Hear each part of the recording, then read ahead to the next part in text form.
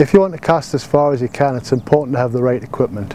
Rods like this 13 feet XSI intensity do the job perfectly.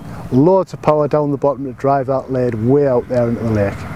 The reel of course is equally important. The line layer on this Aero Technium MGS is outstanding. It stops the line level dropping, creating friction at the lip and allows you to cast much further.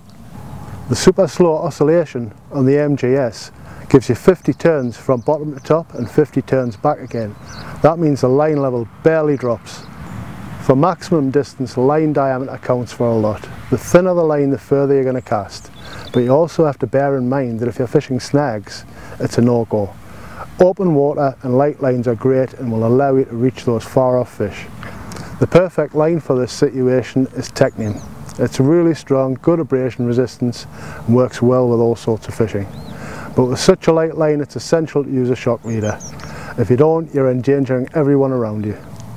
Sufix Zippy shock leader is perfect for the job.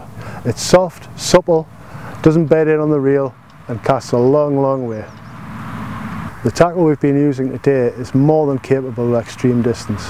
With a 4 ounce lead we've been hitting very very close to 200 yards.